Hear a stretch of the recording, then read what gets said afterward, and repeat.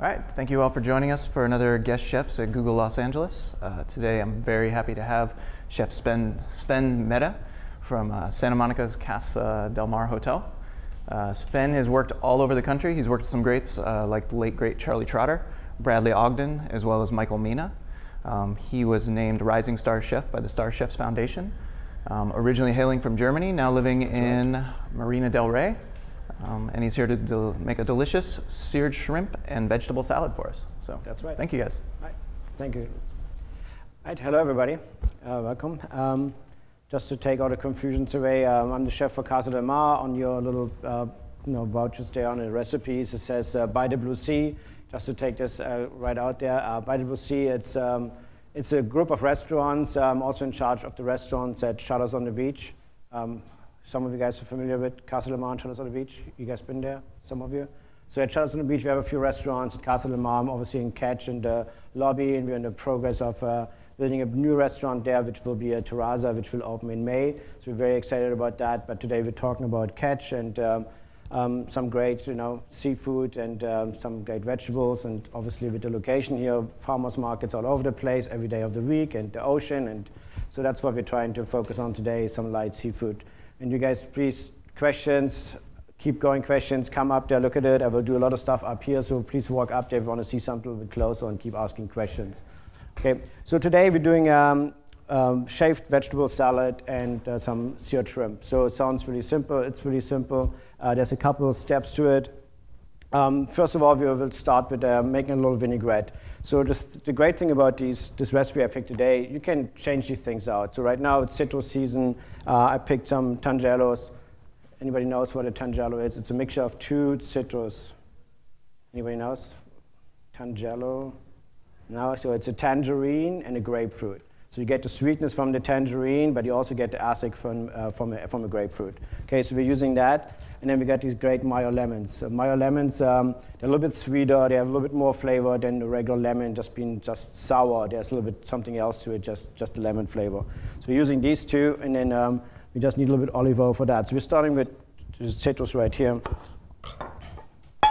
So I just, um, you guys, I mean, you guys should come up here. You can see actually what's going on here. You guys want to come around, a couple left, couple right. So I feel like I'm in the classroom otherwise here, not in the kitchen.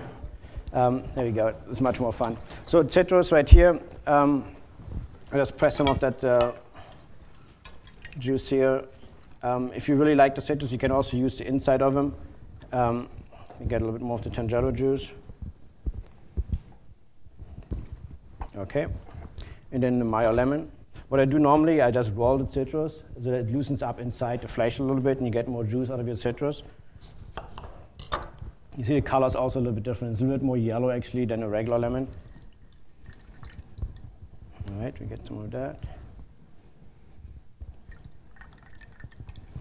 Okay, so we have the, the acid now. So now what we need now, it's our olive oil. So what we do normally, we just always add the olive oil slowly into the citrus. Uh, if you do a champagne vinaigrette, same thing. You take your oil and you slowly add it into your vinegar. Yeah, come on. New bottle. There it comes.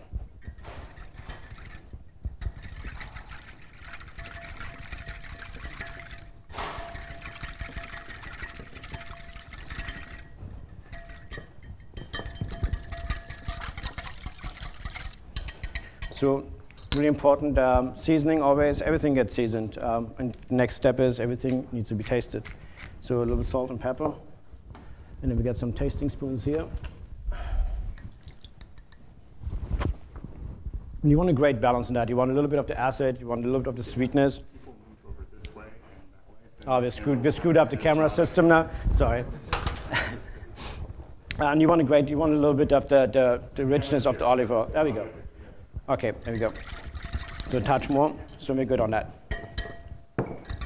Okay, that's our first step. So that was pretty simple. Simple vinaigrette, and you can exchange with anything you, you like. I mean, if you just want to use um, pomegranate juice, if it's like winter season, you same thing. You use some fresh pomegranate juice, you add some olive oil, salt and pepper, really simple. Uh, basic ratio is normally like one to one uh, if you use fresh juices and some olive oil. Okay, that's the first thing. The next thing, what we want to do, we do a simple pickle. Um, what I will use for that, we use these uh, Fresno peppers. So you can do anything you want. Uh, the basic recipe is um, champagne vinegar, sugar, and water. So what we do normally, we just use um, equal parts of sugar and water.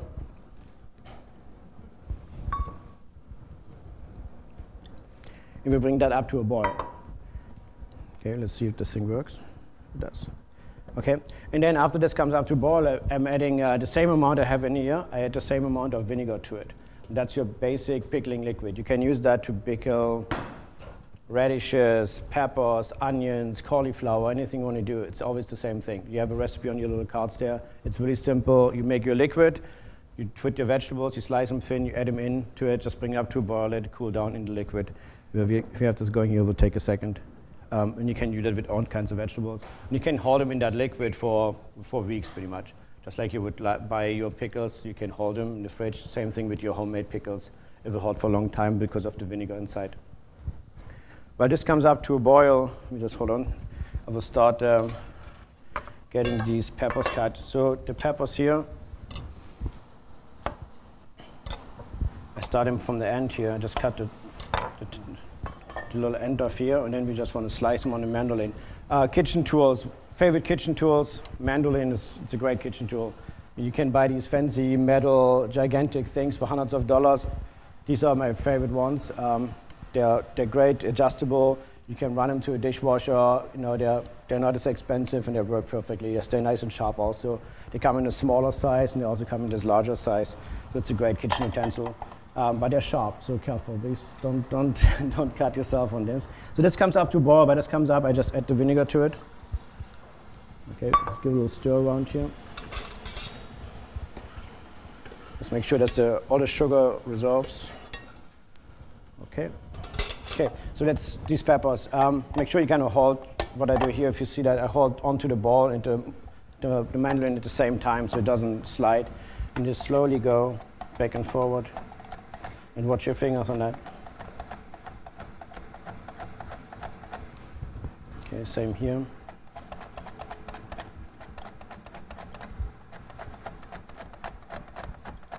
If you get more to the end, the slices get a little bit larger, and you have a little bit more seeds. What do you want to do then? Just pick the seeds out because the seeds are really like spicy and don't have this much flavor. It just adds extra spice to it, you don't really need because you want the flavor of the peppers really. So this is what it looks like. We have nice little slices here. If you see this. Okay, we don't need all these. Let's put this over here for a second. There you go. So see, this liquid is coming up to a boil. What I do now, I just add these peppers to it.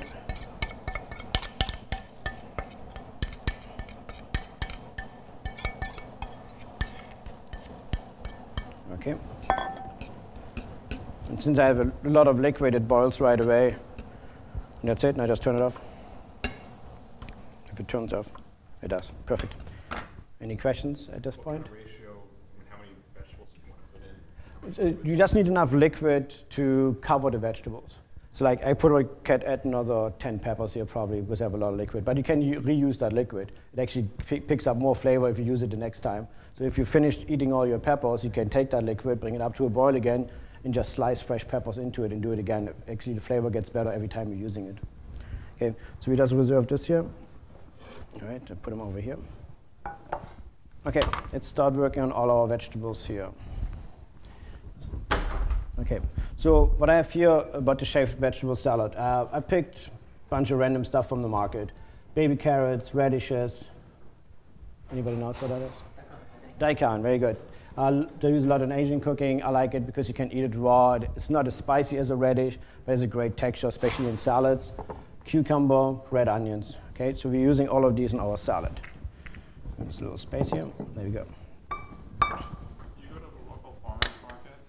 Uh, yeah, mostly on Wednesdays because it's the largest one in downtown Santa Monica. Um, I think it's the, I don't know if it's the best one, but I think it's the largest one. It has the biggest selection, I think, of product. Uh, and it's, it's, it's all together on that day, so I don't have to go to smaller markets uh, throughout the week, actually. So it's, everybody is there, or the larger vendors, smaller vendors. So it's the best selection, I would think. Right. Okay, so now let's start with our vegetables here. Let's start with uh, using these cucumbers. So I just cut the ends off. And you can change it out. I mean, any vegetables. I mean, you can uh, you want to shave. Um, you can use fennel if you like fennel. You don't like daikon, use fennel instead. I mean, everything as long as you slice them really thin, you can use all kinds of uh, different vegetables. I mean, you even could use squash or butternut squash or something like that. It all works. So what I do here is just peel the outside.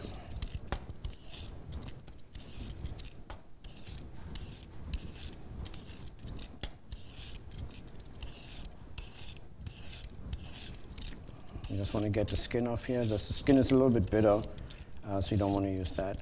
Um, and again, if there's different cucumbers throughout the, at the farmer's market, uh, right now that's one is the best tasting one. So what I do then, after I'm done peeling the skin, I just go over my ball here and I just keep peeling these ribbons. So you end up with these, you see that? Nice thin ribbons. And it's the same thing I would use the mandolin. It's just easier with the peeler, actually less dangerous. Um, so we just keep going here. You just keep turning until you get, you don't want to use the seeds. You just keep turning the cucumber. Just keep peeling them down until we get enough for a salad. So I think that's a good amount. Okay, let's put this aside. Okay, next vegetable. Um, let's use the daikon. Same thing with the daikon. Um, I cut a nice big chunk of it.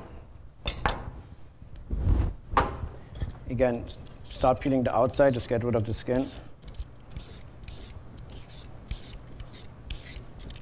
Okay, and then same, let's get this nicely cleaned up here. Okay, um, same thing. So now you have this peeled side. Now I go over my board here and just keep peeling, again, these nice, beautiful ribbons.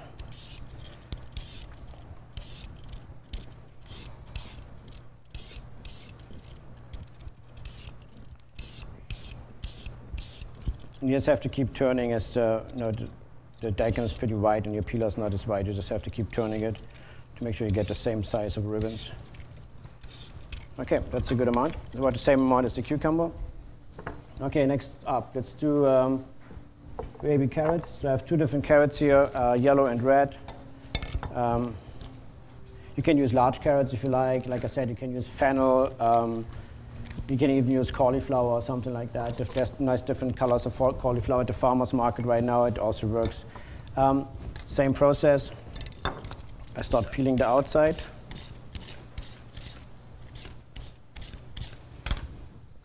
Let's cut that end a little bit. Go over here and just keep peeling it down.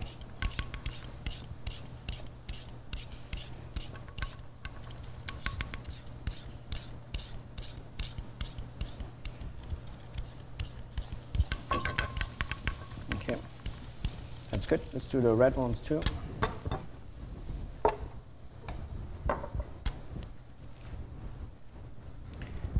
All right, there we go. Who goes to the farmer's market of you guys? Anybody goes on a regular basis? What's your favorite thing to buy there?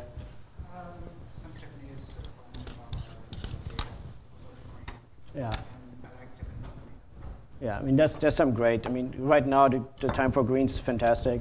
There's great greens there. The citrus is really popping right now, so it's, it's very exciting. There's always something new. That's the best thing about it. Um, okay, we go carrots. There we go. See, that's a nice different colors too, because you get dark red car carrots, there's yellow, there's white. Just pick a different colors up and you just kind of peel them in there. Okay. And you can use it all the way down. Just keep peeling it until there's no carrot left, pretty much. I just stop right here because we don't have all day, and I know you guys want to go back to work or not. all right, okay, carrots. Um, next thing is use some red onions. Um, again, you can use red onions, you can use shallots, you can use cipollini onions. I just like to put some sort of onion product into it. Um, it gets a nice little spice to it, a nice little kick. Um, just take the skin off here.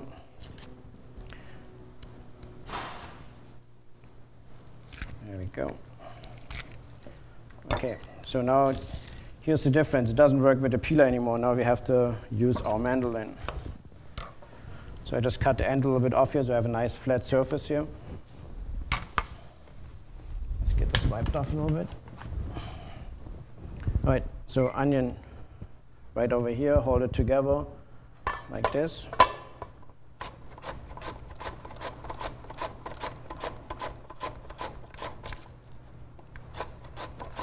There we go. You have these nice, beautiful, thin little slices of red onions.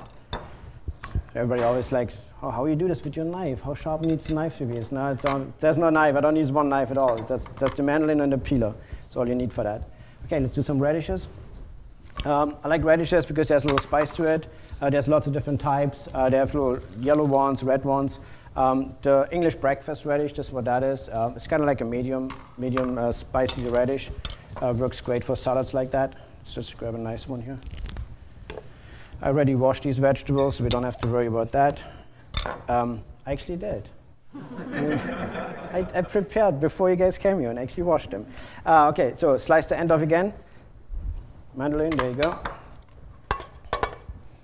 And then thin slices. And you gotta make sure you keep looking at that. I can look away, but I wouldn't recommend doing that at home. Okay, there we go. So you end up with these nice little slices here, nice and thin again. You see, end of the day, everything has the same thickness. So if you eat your salad, you have the, the different, text, the different textures, different flavors, but everything is the same thickness. So it, the, salad, the salad marinates really well like that. Okay, what are we missing? We got this, we got radishes, carrots, cucumbers, so we're good. So we got all these. So now, let me just clean this a little bit up here. All right, done with this. And that. So next, uh, let's talk about shrimp. What I have here is a, it's called a blue prawn. That's what it looks like. So when it comes to shrimp, um, there's a lot of different types of shrimp obviously around, some good ones and uh, some not so good ones. Um, um, I prefer to buy shrimp in, in, inside the shell, uh, not peeled, because uh, you have more possibilities in how you want to use them. Um, same as with meat. If you cook meat on the bone, there's more flavor to it. A bone in ribeye always tastes has more flavor than a boneless ribeye. Same comes to seafood. If you cook a whole fish, there's more flavor to a whole fish because you're cooking it on the bone than a fillet of fish. The same goes with shrimp and lobster and other, other crustaceans. So cooking a shrimp inside the shell, uh, in some applications has much more flavor. You see, like if there's live spot prawns and things like that, you just cut them in half. That's what we do at the restaurant. We just split this whole shrimp, put them on the grill, salt and pepper, olive oil, and you serve them in the shell because there's a lot of flavor to that. Now, for our application today, since we're just doing a simple salad, you don't want to start peeling the shrimp with your salad, so it's kind of getting messy. So what we did here, we just peeled them um, and cut them in half pretty much like this. So we just get this pen going here. All right, see it works. Stanley, are you catching up? You ready to go? Because these people are hungry, okay? So you better be ready. Okay, so to get this nice and hot. Um, really simple, just a little bit olive oil, salt and pepper. Uh, what I do normally, I just season, season my uh, meat or fish in a separate bowl instead of just putting too much oil inside. You don't, the balance is better if you season the things in a pan and then put, uh, season it in a separate pan and then put it in the frying pan so you don't end up with lots of excess uh, oil. Okay, there we go. Salt and pepper. Salt, um, we really like using sea salt. Um, much more flavor. Um, uh, it's, it's, a little bit healthier too. And you know, the nice thing is it has a nice little texture to it too, especially if you finish things, uh, finish meat, finish fish. There's a nice little crunch to it, and it has much more you know, minerality and flavor than, than just regular kosher salt. Uh, and then pepper, um, we always use pepper mills at the restaurant because uh, it's fresh ground. Instead of just buying you know, pepper ground already, it's nice to have a pepper mill. Uh, what we do normally, we toast the peppercorns uh, what it does, uh, it brings a little bit more flavor out of the spices. So a lot of the spices, when you, especially in Asian cooking too, you always toast the spices before you using before you use them. So same we do with the peppercorns. Just a little pan overheat, uh, toast the peppercorns, and then put them into the pepper mill. So it, it's much more flavor out of the peppercorns. Okay, we'll season that. So yeah.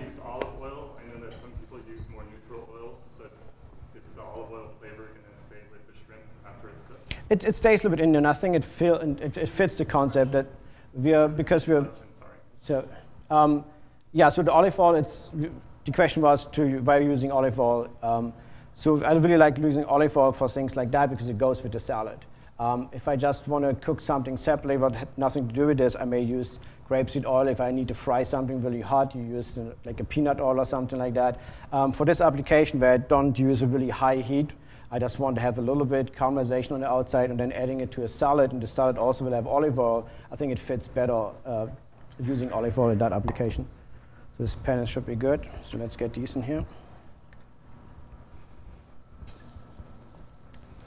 So when it comes to cooking shrimp, meat, anything like that, the worst thing can happen is that your pan is really too hot or too cold. And you can hear it normally on the sound of your pan if it starts to explode and um, uh, getting really, really loud. That when you put this meat in, a, in the pan, it means your pan is too hot. If nothing happens, you can't hear anything, that means your pan is probably too low on heat.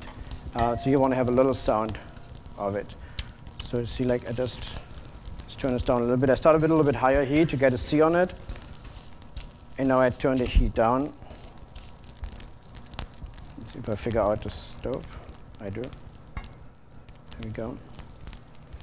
If it smokes too much, then uh, you can add a touch more oil.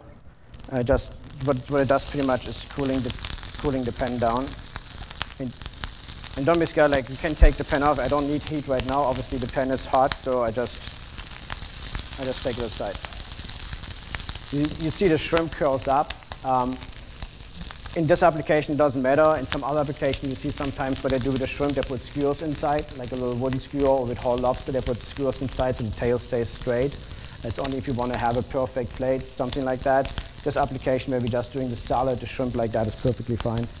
Uh, let me just flip these over again.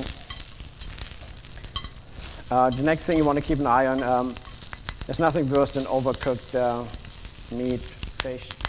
Um, I know people are always scared to like undercook it, and don't want to have it raw, but I think it's much better just take one piece and cut it in half and look at it and, and check if it's cooked or not cooked instead of just cooking it and be safe and add another minute, another minute. The next thing you know, it's just dry and you can't go back from this point. So you always want to just kind of stop it and saying, hey, is it done or not? So just take one piece, cut it in half, look at it, if it's done, it's done. If not, just put it back in the pan for another minute or two. So that's, these are pretty much done. Let's turn the thing off.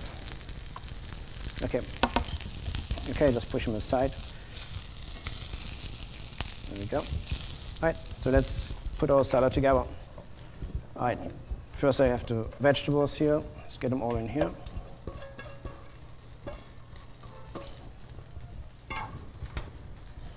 Okay, then our dressing.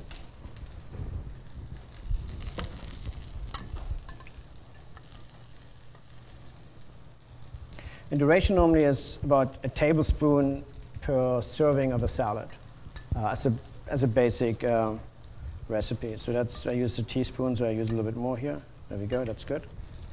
Um, again, we mix it around a little bit.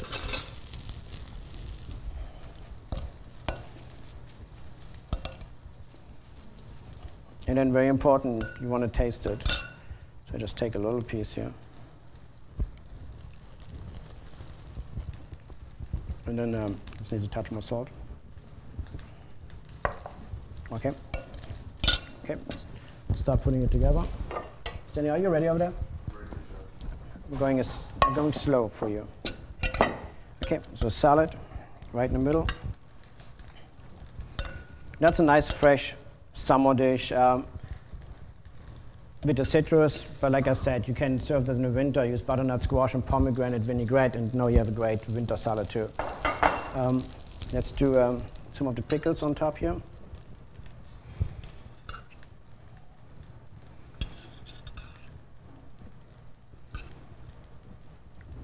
Great kitchen tool, by the way. I don't know if I said that already. Every chef's new favorite.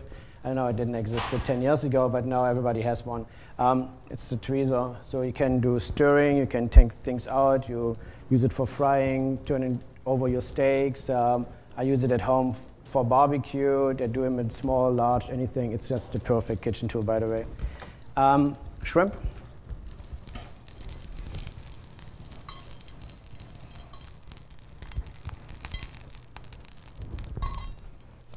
Okay, and uh, let's something nice and fresh. Let's add a little bit cilantro leaves.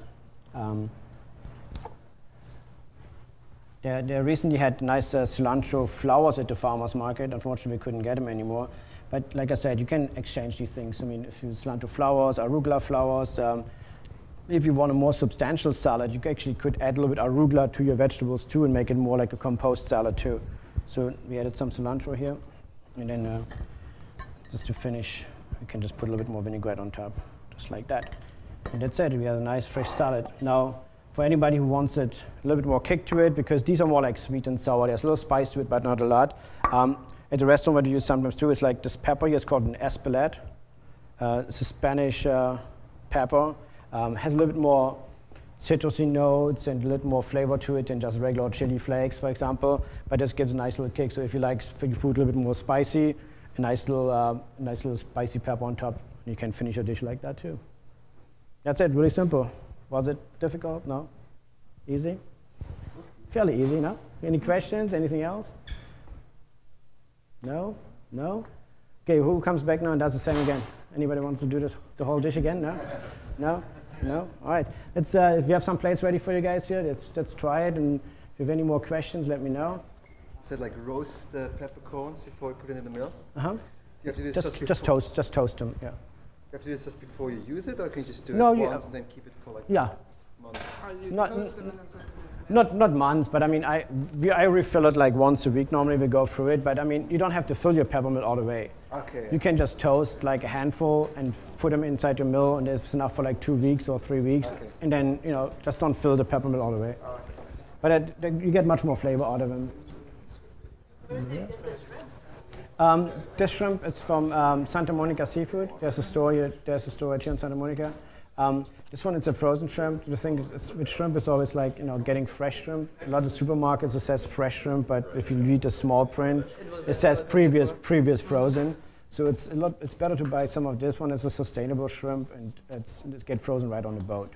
So it's been frozen the whole time. It's not like frozen and defrosted, so it's really consistent that way. Uh, a lot of chefs going that direction now because it's really hard to get a really fresh shrimp, which Yeah, was fresh from the catch. We get some of them, but you only get it once a week or every second week, so it really depends on the weather. So a lot of chefs can't, can't depend on that if you have a restaurant where you have, need to have a consistent product. But that's a really good shrimp. Um, you know, Yeah. it's, it's, it's soft and has different applications. You can fry it, you can sear it or grill it, and it always stays kind of moist. What do you think the biggest challenge um, is when working with seafood, fish, seafood, and more Um, biggest delicate? Um, I think first you have to pick good product. I think you know, like we just talked about the shrimp, um, using the right product, good product, um, and just kind of handling it right. Make sure. I mean, don't leave it three days in your fridge before you cook it. You know, you want to make sure it stays fresh. I mean, and then just don't overcook it. I think and make sure you season it well. I think that's pretty much a secret. And you know, in our restaurant at Catch too, I mean, we're using a lot of different seafoods. The main role is like make sure the stuff stays fresh, and you know, and keep focused on the cooking techniques and make sure that it's no, it's not overcooking. You want to you don't want to serve overpowering things with, with your seafood. Just you know like like this because it highlights the seafood. Know if you if you do like really heavy risottos with a really delicate piece of fish like what's the point you know? You, you don't taste the fish anymore You come across unusual things at the farmer's market and you think, how am I going to use this? What do I do? Yeah sometimes. Um, there's some tropical fruit something like I, I have no idea what it is. I just take one and then just google it and then uh, and then find out about it and then just kind of try it out if you like it or don't. Yeah. But that's what's fun about the farmers market here because there are these there are, there are these farmers they have stuff you only see for two weeks out of the year or something like that. Yeah, which is exciting yeah. Are there any significant differences between making like one serving and then what Stanley did with the whole mass? Um, it's it's the same thing because just the preparations are exactly the same. You just made a bigger batch. Obviously, you, you shaved all the vegetables separate, so you had a bowl of shaved radishes and a bowl of shaved uh, carrots and things like that. And depends how many people you just saw. Mix it all in one big salad. Uh, make the salad, and then instead of searing four pieces of shrimp, you seared no 20 pieces of shrimp. If you're entertaining, how, how far ahead of time can you like maybe slice the vegetables? Then I guess you assemble it. Just This vegetable you can slice them the day before. Um, some vegetables you can keep in, in water. Um, some vegetables you just put a moist uh, paper towel on top to make sure they don't dry out. Uh, like the cucumber and the radish, just stay nice if you put them in a little bit cold water. Uh, the radishes, normally I, I like to just put a paper towel on top so you don't lose the, the, the spiciness of them. But you can prep that a day ahead. You have the vinaigrette done a day ahead. The pickles, like I said, you can make them two weeks ahead. Um, so you only have to really mix it all together and sear the shrimp. What was that last pepper called again, the Spanish one? This uh, it's called espelette. Espelette. Yeah, espelette. If you- If you, if you just want to try a little bit here, just to see. I was going to ask a little bit more on here to get more of a sense of it. Yeah.